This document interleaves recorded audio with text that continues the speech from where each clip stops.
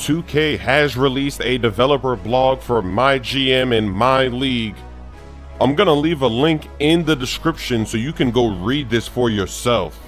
Everything you want to know about these two modes is in this developer blog. It goes into great detail. I'm not going to be able to cover everything here in this video, so definitely give it a click and read if you have the time. The most exciting news revealed in this developer blog is that you can fully customize hair. And this blog is saying that all of these changes are not just for my league, which is great news because if you're playing my player, whatever it is, you can fully customize the hair. And this is how you do it. Some hairstyles allow you to adjust the length of the hair. You can go longer or shorter. You can change the pattern that gets shaved into the hair, like a Nike check, various different lines and other logos.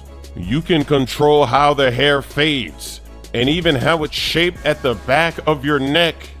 You can be a round or sharp corner kind of guy. They're quotes from this blog. I wish they would have given us some more screenshots of hair, but let me know what you think of this one that's been on the screen for quite some time.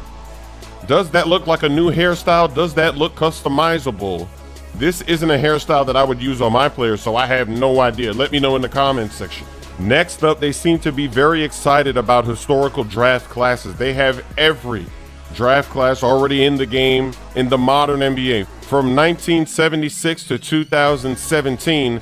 And here's a list of some older draft classes that they've included 1960, the Big O, Jerry West, and more. 1965, Gail Goodrich, Rick Barry, Jerry Sloan, and more. 1969, Kareem Abdul Jabbar, JoJo White, and more. 1970, Pete Maravich, Nate Tiny Archibald, and more. 1974, Bill Walton, George Gervin, and more. Next up, they're talking about player mentorships and that young players, the first four to five years in the league, they're going to experience the most growth in their game and they can learn from mentors that play their same position, older players. So, one of the examples they're talking about is LeBron James and Brandon Ingram on the Los Angeles Lakers. Very interesting feature indeed. Next up, the All Star game format has changed. The game is now going to allow you to have captains that are going to pick the players. And if you're in my GM, my league, you're going to have control over the draft process. That's going to be it for my video. I didn't talk about everything. There's a lot of details, seriously, with various features I didn't go over, but you're definitely going to want to check out if you play my league or my GM. You want to be able to read and find out about all these new features. The link is at the top of the description. Let me know what you're thinking of everything. Third and 21.